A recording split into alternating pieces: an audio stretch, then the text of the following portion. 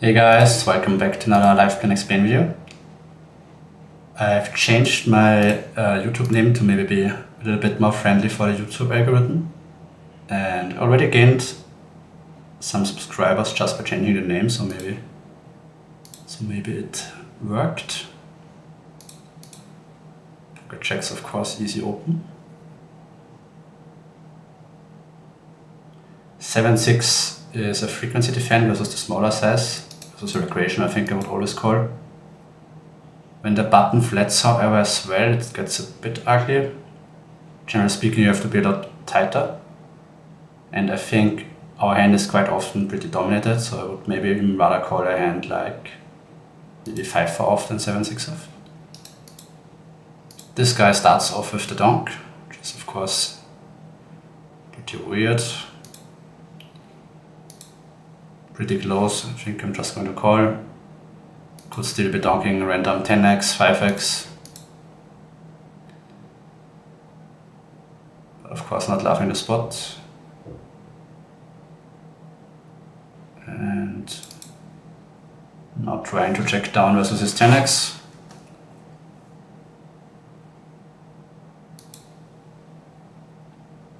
Interesting to flat, face a flat from cutoff. Usually most people play 3-bet or fold strategies in those positions. Oh, okay, very interesting how I played that hand. Donk the flush draw and then trapped twice. So certainly worth taking a note if you were to play the guy more often. With the queens four way I think uh, we just try to check it down and versus any aggression we fold, but maybe see an interesting showdown.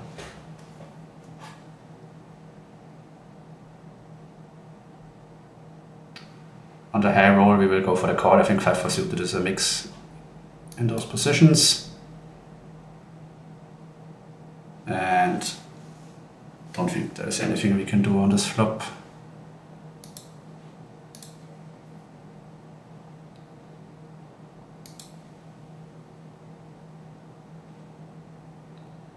And 7 off is too weak. Jonas is the min raise. And queen 10 suited could get in the squeezing range sometimes. I think something like drive from 5 is probably fine. Versus a 4 bet I would fold. And unfortunately we do face the 4 bet. And King 7 suit is closer. It goes for a bigger 3-bet sizing, like 11.5 if I went like 10 big, big blinds, maybe 11 big blinds.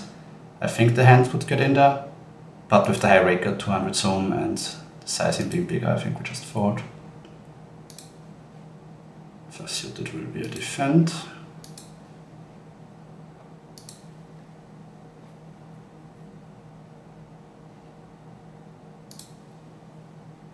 board where you would expect a bigger sizing, three quarter, to half pot, something like that. And when it goes check check, there are a wide variety of strategies you could use. You could go for a block strategy. I personally go for 75. Still value betting 9x, um, but not going too crazy with those sort of hands. So on a low roll I will go for a check. And table 2, the hand can certainly bet, but without the backdoor flush draw it will be played more passively. But it's nice to start betting a hand like ace-4, already get him to fold ace, get him to fold like ace-6 to ace-10 probably. And on the river, I don't think I want an overbet, so I would just play 75 or block here. because my super strong hands don't really need an overbet. If I have a boat or a flush, I could check raise, or he would also be incentivized to raise an 8 on the river. So I don't think you need an overbet here.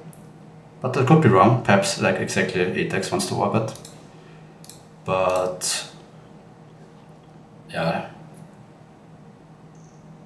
Mm, straights, we also have some straights. Yeah, I might be wrong. I think overbet in the river would actually be, be, be a fine, fine strategy.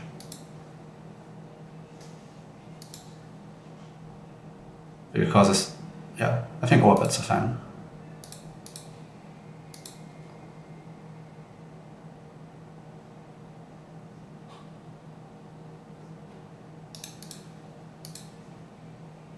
Again, 4 action and not much that we can do.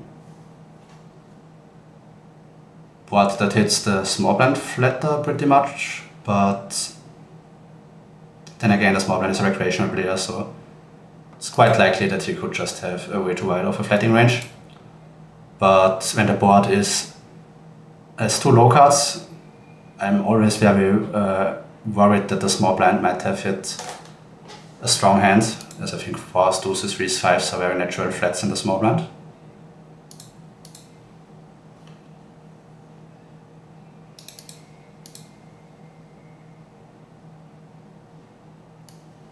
The ace.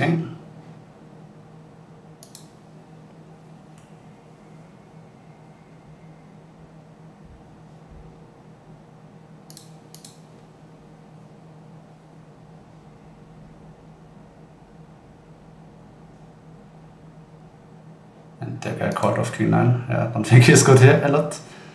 Um, table 2, it is a mix between 4-bet and call. And we roll a 4-bet.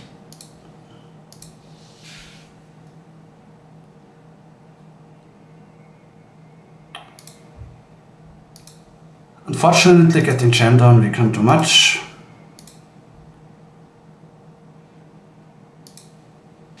But calling too much out of position is also not really an interesting prospect.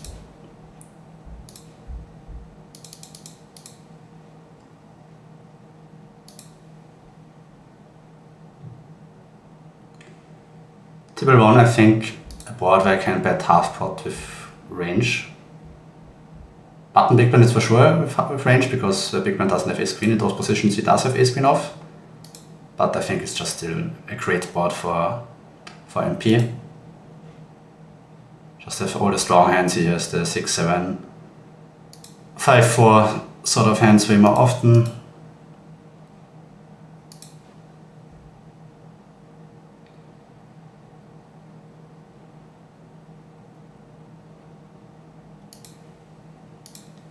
S9 would be mix call or 4 bet if the button had decided to 3 bet.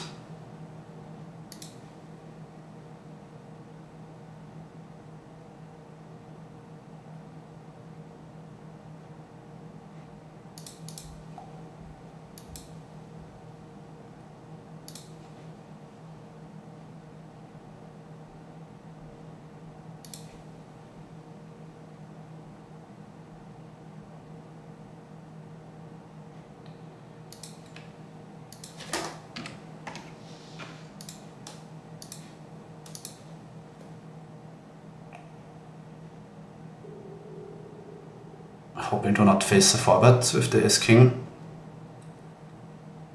In theory, you think you're almost pure jam ace-king when you get 4-bet. Face the cold 4-bet, which is even stronger. Table 1, I think those ace-high boards blind blind are not too terrible if you play a 25% or check strategy.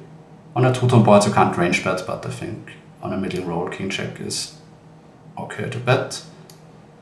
And that's not great, but I think we just chip in the ace king and hope for a fold. If we get called, that's a great, that's a great outcome.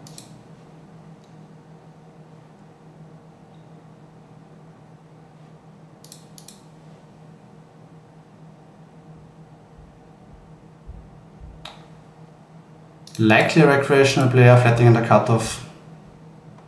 So um, I think I'm more incentivized to call king 2 suited now.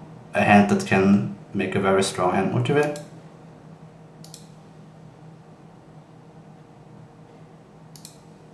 And of course easy snap fold. I don't think the cutoff should, uh, the MP should really have a betting range here, but also an unknown player to me, so perhaps he's also a recreational player.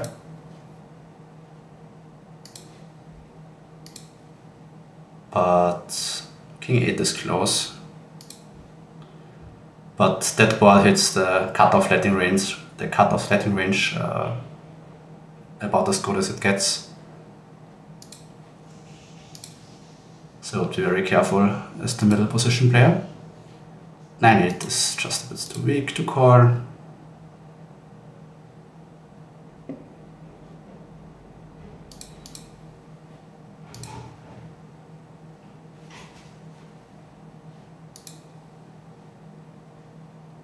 Pocket aces, maybe we can get something going now.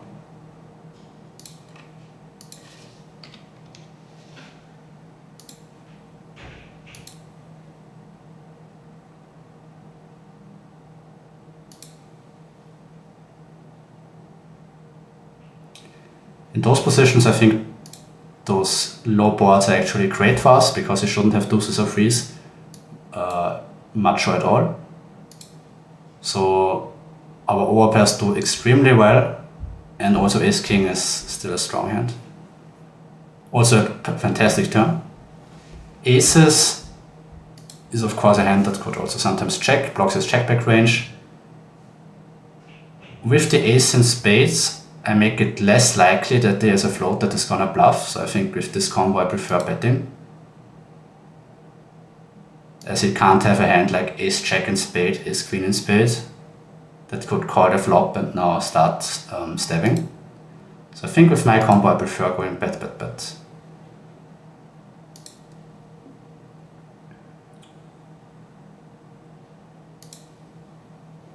And we should have the best hand here a lot. Also pocket nines is probably a hand that has to fold a bunch on the turn.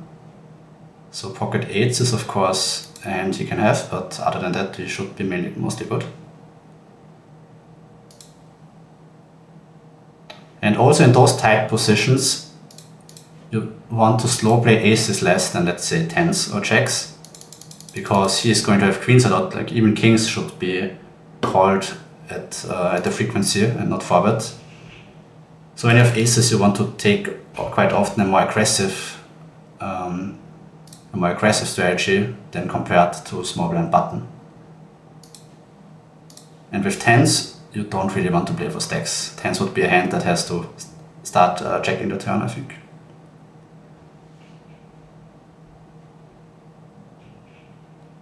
Table 2, we will of course start with a call. Those ace boards are not really range bet boards from the big blind when you 3-bet. Because um, because his range is as hands like king 10 off, queen 7 suited, sort of hands that don't really hit the dry ace side textures. And facing the check, I think we also mainly go for the check back. We are quite polarized to probably like ace queen plus and ace queen also can't always bet, otherwise you could always check ace king and would always get stacks in, which is not great. Or could jam the river really big, so certainly need to have a strong checkback range here, and of course a fantastic river. And now we could certainly have some jams, because we do have ace jack, we have king queen, that will float on the flop.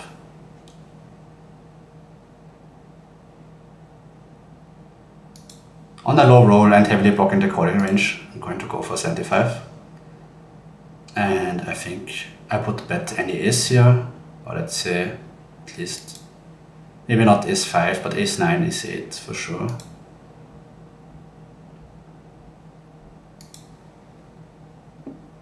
If you face the jam, we do have to call. Could run into tens, but it is what it is.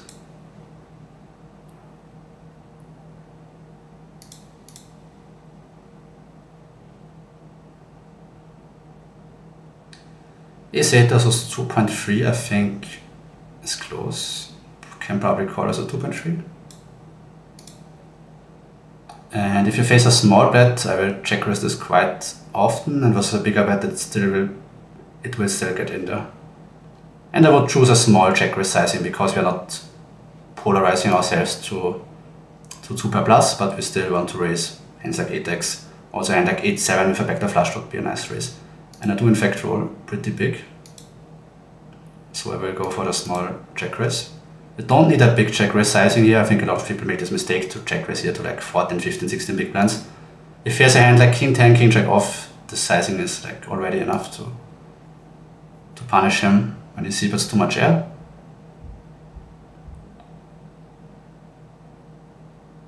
While if the board was an high board, let's say it was ace 8 3 rainbow, you would want to check raise a bigger sizing like a pot sizing or even bigger where you, you, are already seeing um, that you have 2 pair plus.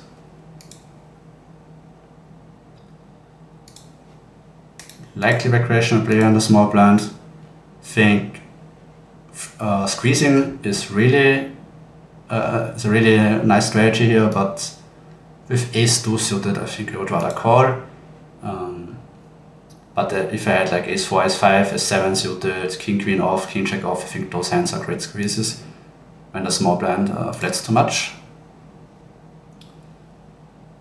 And a board that we really don't hit much, as I already said, uh, I would squeeze also a lot of the offsuit top pairs, so I really don't hit this board too much in my check call range.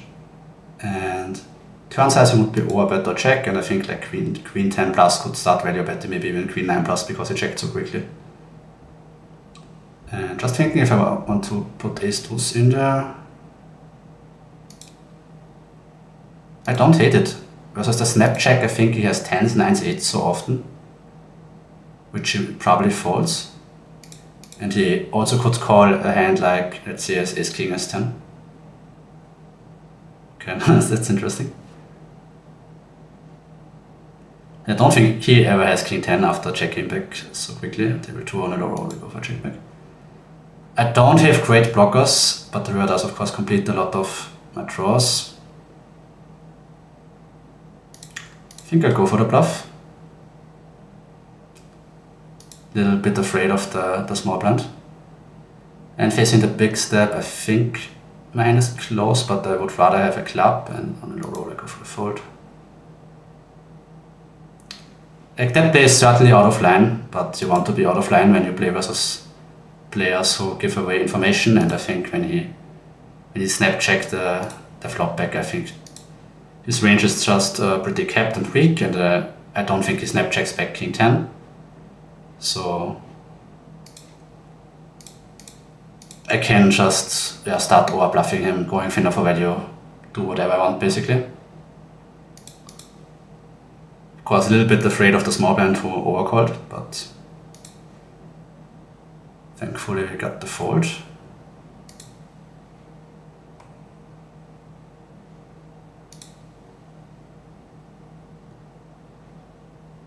So yeah, as main takeaway from this video so far is balance uh, balance the timing. I mean, perhaps he is snap checking always, but uh, I'm just not really a believer.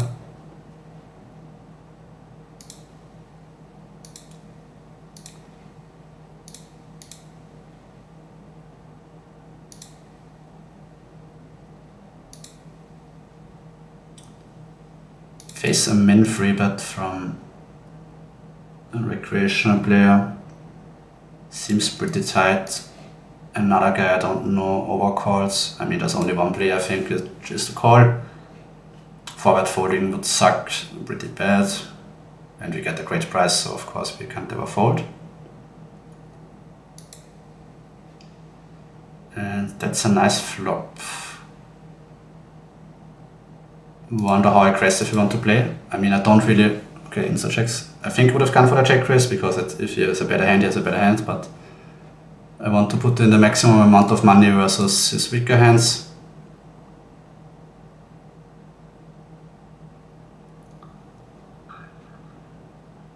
I mean, I'm pretty polarized here, but we are multi-way, so I don't think I want to go completely overboard. Perhaps a small overbet sizing. 1, I think you can just range bet this sort of uh, texture.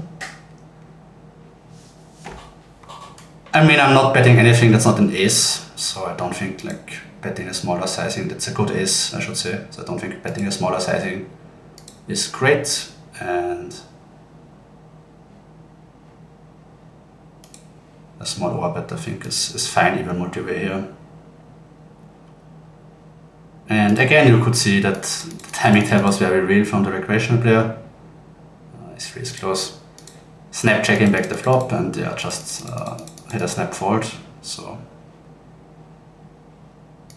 when we don't have the nuts, you could also start bluffing a hand like, I, I don't think you would want to bluff a hand like, let's say a random queen jack in diamonds, king jack in diamonds, because his folds are going, going to be exactly those sort of holdings, or pocket kings, pocket jacks. But let's say you had deuces or threes, or, or some low pocket pair, I think would be a, a great candidate to start bluffing already on the turn, unblocking his folds.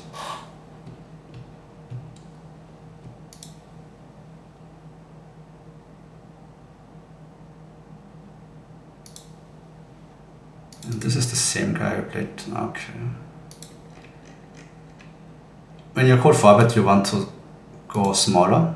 So I think sizing wise, like 20 to 21 is good here. I think 21 is probably fine. Perhaps even a bit too big.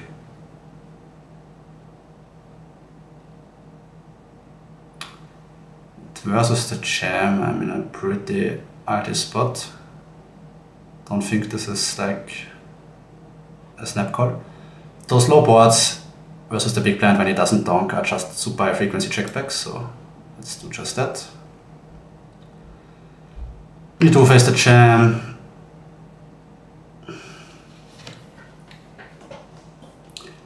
Does he even jam? Like, how much ace king does he jam here? Does he jam aces? That's the, that's the real question here.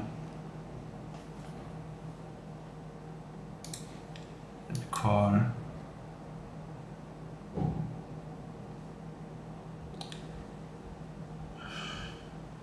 Not really sure. What to do on table one? Probably close.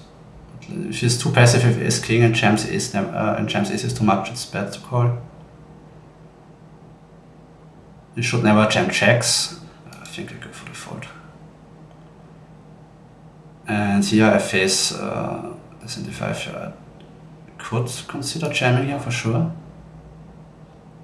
mean, he does have more 7x than I have. Having an 8 is pretty nice.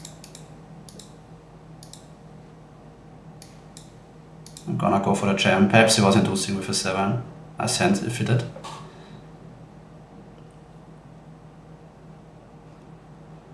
a board on which we have to do a decent amount of checking in those positions because we don't really have deuces or threes, but on a high roll I will still go for the c-bet.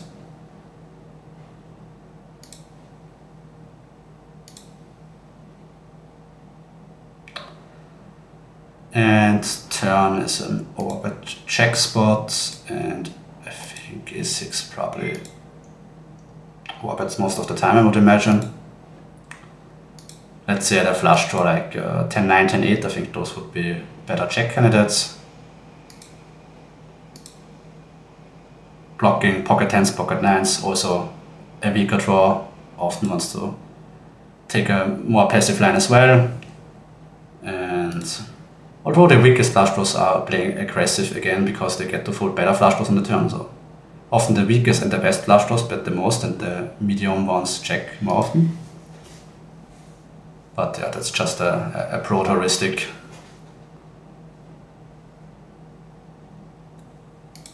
King 3 is open.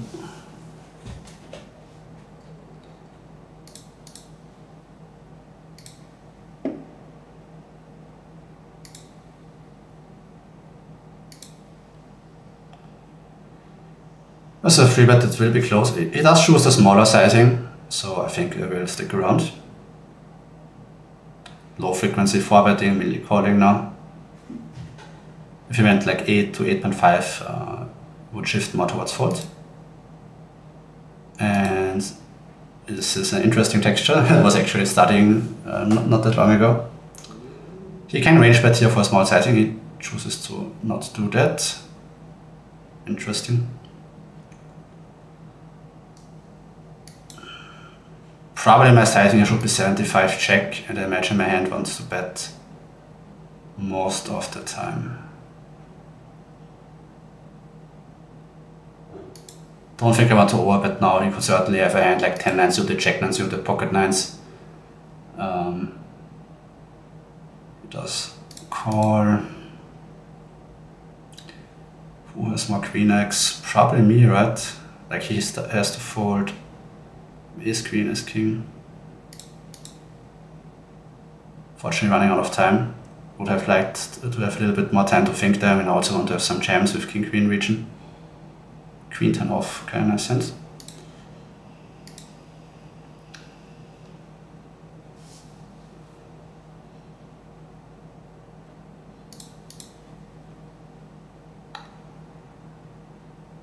Uh, this is the three quarter step. I think I can fold. I'm gonna sit out here real quick and talk through the, the hand because it was quite interesting. Mainly going to go for the check back. I play quite a polarized c strategy on those ace high boards. And yeah, the my thinking was that my hand actually has decent blockers. I usually don't want to bluff the, the flush draws, but first of all, is a snap checking back there is a flush draw? Probably not, to go back to the theme of timing tells. And second of all, I, I don't block ace 10 suited or ace jack suited, which would both be hands that would fold the river. Turn, I think, is here 75 check. And yeah, so it's quite nice that I don't block ace, a hand like ace 10 suited, which would, which would always fold the river. But I don't know if I had take, if I have taken the correct sizing. I was thinking if I, if I have a queen, I would want to bet like this, like betting too small, it just gets to always call for the job, So I would think this sizing in a jam would have been my strategy. But yeah, I didn't have too much time to think it all through, but I still don't, I don't mind my play. And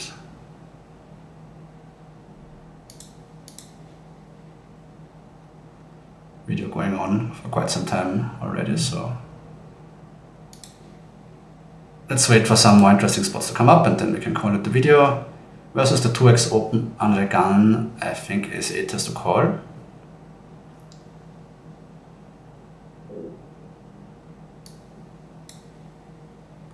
And this is a texture where you should not c-bet much at all. Uh, so certainly a board where also if has ace king, ace queen, you don't want to make the mistake and just always c-bet. It's just a really easily exploitable strategy. And us, he will also be playing very polarized. So our hand always checks on the turn and we'll play an overbet check strategy.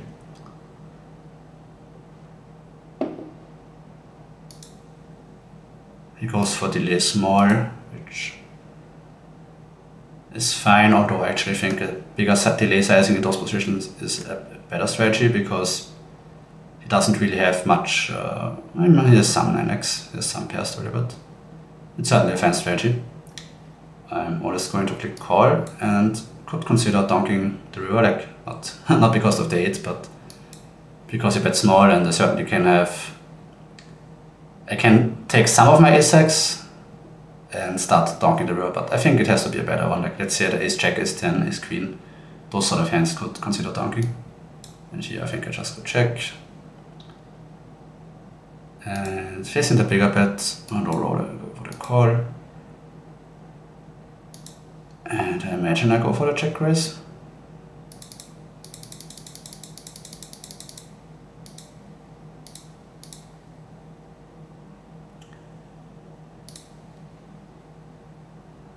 face the pot bet. I think overpairs still have to call just because they have uh, outs versus the more outs versus the two pair region. Let's say the hand like jack 10, Queen 10, King 10, those hands all can consider folding. And he had Ace 9 off, which is of course support offline. Beginning from the pre-flop call, I mean staring the flop is certainly fine and yeah, I don't love overbetting the turn. I mean, the ace as good, but the 9 just blocks 10 9 so the pocket 9s which always fold, so. I think that play is quite out of line. So yeah, going to play for the next big blind and then call it a session facing the really big 4-bet here. I think I'm yeah, deeper. But the guy is quite passive because just fold.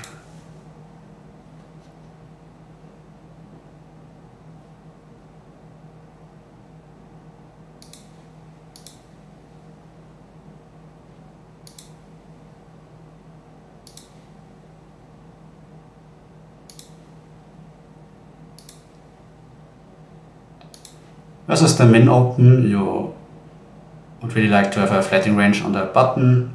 Deuces probably, to, if this guy also in there, I wonder if I want to flat do this more or less because I'm often, I'm more often going to be set under set, I guess. I'm just gonna go for the fold.